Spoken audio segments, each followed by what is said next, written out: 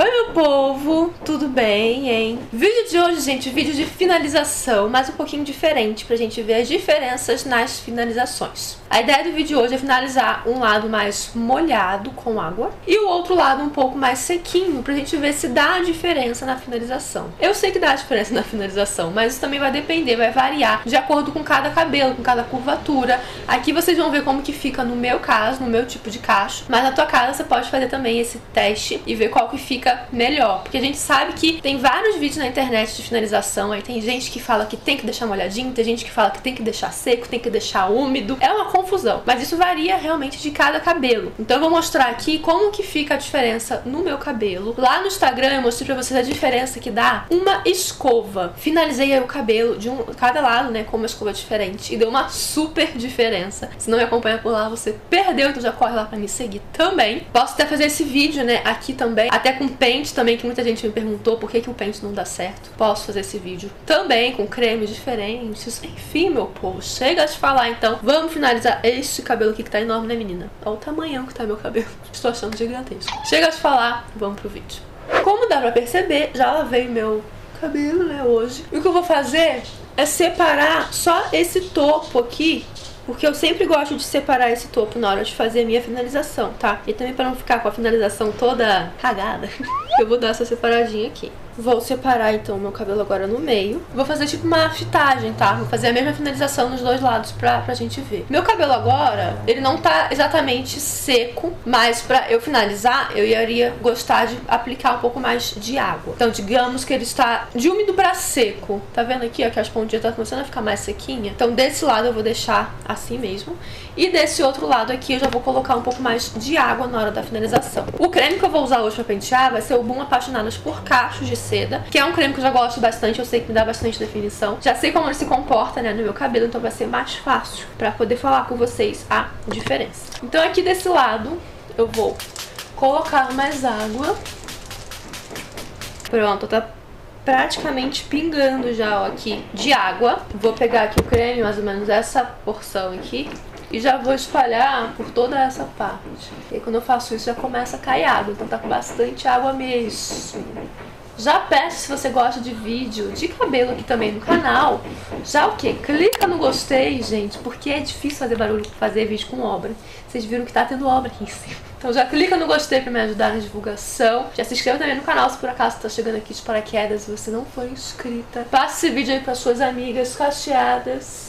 Ó, aquela porção de creme, eu consegui passar por toda essa parte aqui. Consigo reparar que tem todos os fios, né, estão bem enluvadinhos com creme. Isso é importantíssimo, por isso que eu fico fazendo, digamos, essa massagem, né, assim, no cabelo, enluvando, pra eu ter certeza que tem creme por todos os fios, tá? E eu sinto isso. Isso você vai sentir passando mesmo a mão no cabelo. Quando você passa a mão no cabelo, você repara que os fios estão com, com creme. Todos os fios estão com creme. Feito isso, o que eu vou fazer agora é ir pegando aqui as mechinhas, vindo aqui com a escova. Meu cabelo já estava desembaraçado, que eu gosto de fazer isso no banho. Mas eu vou fazendo agora tipo uma fitagem. Ó. Vou aqui pegando algumas mechinhas. Eu tô olhando agora muito pra cima, gente, porque eu estou me olhando por ali mesmo, pra ver se eu não tô fazendo besteira. Eu não consigo finalizar meu cabelo sem me olhar no espelho, sabe? Eu gosto dessa balançadinha aqui, eu sempre sinto que me dá mais definição. E amasso. E vou pegando aqui as mechas. Eu tô acostumando agora a fazer esse tipo de finalização e eu faço super rapidinho. Em 10 minutinhos assim eu faço por todo o cabelo.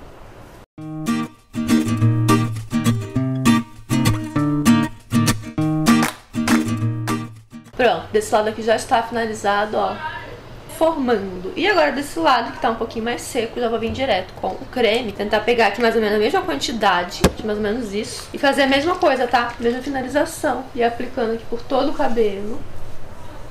Primeira diferença que eu sinto, isso no meu cabelo, é que eu necessito aplicar um pouco mais de creme quando eu tô com o cabelo um pouco mais seco. Parece que quando o cabelo tá mais molhadinho, eu não preciso de tanto creme assim, sabe? Porque agora eu peguei praticamente a mesma quantidade de creme, posso afirmar 100% que foi a mesma quantidade, né? Mas acredito aí que seja o mais próximo possível. Mas eu tô aqui aplicando e eu sinto que ainda tem parte que precisa aplicar mais creme para ficar mais hidratado mesmo.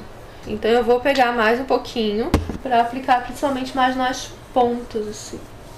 Gente, o tamanho que tá isso daqui. Aí tu olha, ó, aqui está cacheado e aqui tá desse tamanho. Ó o tamanho. Chocada. Nossa, e a vontade de atacar água aqui. Que nervoso.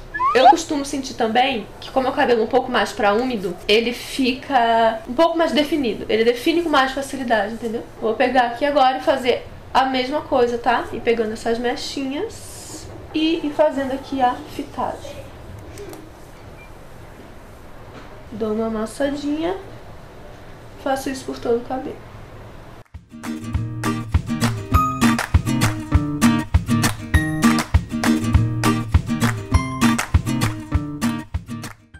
Isso, não sei vocês, mas aqui já consigo reparar uma diferença. Vou tentar aqui aumentar a luminosidade para ver se vocês conseguem ver um pouco melhor o que eu tô conseguindo reparar. Desse lado aqui tá um pouco mais de volume, porque o cabelo tá mais sequinho. E aqui, como tá mais molhadinho, ele fica um pouco mais murchinho, né? Mas repararam que aqui tá um pouco mais cacheado, as fitinhas estão um pouco mais definidas do que desse lado aqui, ó.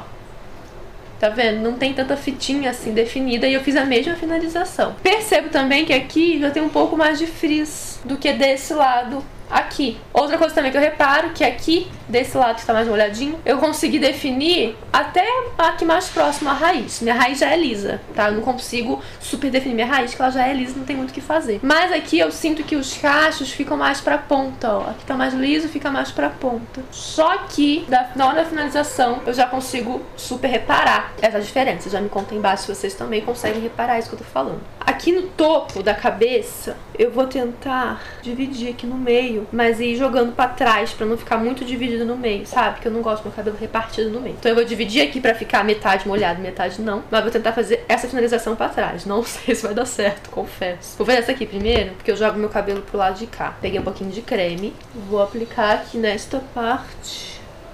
Vou pegando então as mechas de trás e fitando para trás.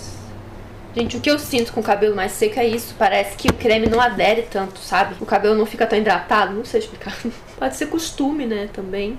E como eu falei, isso também varia de cada cabelo, tá? Então fiz isso. Fitei aqui. Joguei pra trás.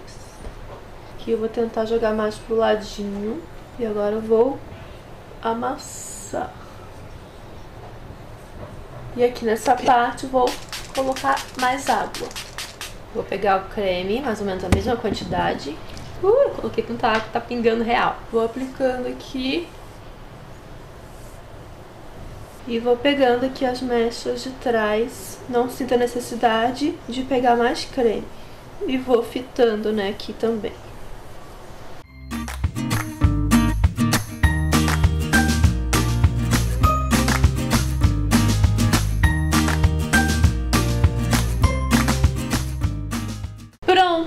Pontos óbvios, né, gente? O lado que tá mais sequinho vai secar com mais facilidade o lado que eu coloquei mais água, ele demora um pouco mais para secar. Eu diria que esse ponto é um pouco mais chato, né? Um pouco mais negativo, né? Eu diria assim. Vou secar hoje com o secador para ser mais rápido esse vídeo. E também porque eu estou um pouco mais friozinho. Então eu costumo, quando tá muito frio, secar com o secador. Senão eu prefiro deixar secar naturalmente mesmo. Demora uma vida, mas eu prefiro secar naturalmente. Porém, hoje com o secador, tá? Então eu vou secar com o secador e volto aqui pra gente ver a diferença. Ó, aqui já dá pra ver um pouquinho, né? Vamos ver depois que secar a diferença que vai dar. Pera aí. Voltei aqui já com o cabelo seco, isso aqui com secador e difusor também, mesmo jeito, né, do mesmo modo, de duas partes. Prendi essa parte aqui, porque como eu falei, gente, não ia dar muito certo fazer aquilo que eu fiz não. Então, desfoca nessa parte, foca aqui nessa parte do de baixo, né, que foi onde deu mais certinho eu consegui finalizar melhor das, dos dois lados de forma igual. Eu não soltei o meu cabelo, tá? Eu só sequei, não fiz nada de chacoalhar, que eu gosto de fazer, nem nada disso, nem soltei alguns cachinhos. Tem alguns cachinhos que ficam mais juntinhos. Eu tenho mania de soltar eles, mas eu não fiz nada disso pra gente ver aqui juntas a real diferença que deu essa finalização, né? Então lembrando que aqui foi onde eu deixei mais molhado, com mais água, e aqui um pouco mais sequinho. Deixei até a iluminação um pouco mais alta para vocês conseguirem ver bem. Meu cabelo tá bem escuro, né? Então por isso que eu deixo a iluminação um pouco mais alta. E reparem como que desse lado aqui, da parte mais molhadinha, como tá bem mais cacheado, gente. Olha isso daqui. Olhem esses cachinhos super fechadinhos. Parece até que eu fiz dedo liso. Olha só. Mas eu não fiz. Vocês viram aí que foi só a fitagem mesmo. Olha isso daqui. Desse lado também tem alguns cachos assim, tá? Por exemplo, esse daqui, ó. Tá vendo? Tá bem cacheadinho também. Também tá definido, ó. Principalmente aqui embaixo, né? Aqui embaixo meu cabelo é bem mais definidinho. Mas reparem que tem algumas partes, olha só como essa daqui, ó. Que não tá tão definida assim. Ele fica um pouco mais ondulado. Não forma tanto as fitinhas. Fica com um pouco mais de frizz. Ó, dá pra reparar aí?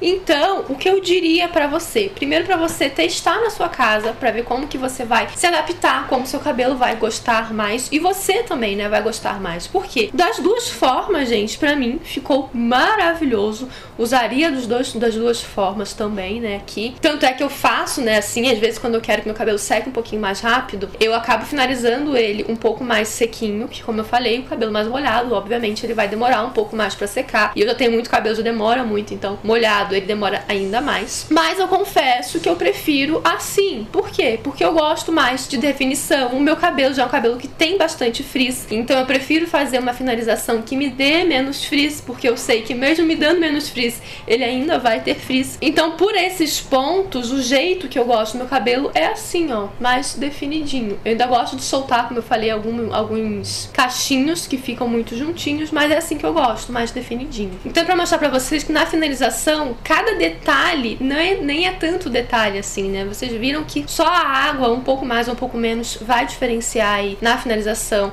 O pente, né? O, o, a escova que você usa também vai modificar a sua finalização, né? O resultado final da finalização. Então testa aí na sua casa, já me conta aqui embaixo qual que você prefere, se prefere mais sequinho ou se prefere finalizar um pouco mais molhado, né? Um pouco mais pro úmido. Me conte aí, eu espero que vocês tenham gostado desse vídeo. Clica muito no gostei e até o próximo vídeo.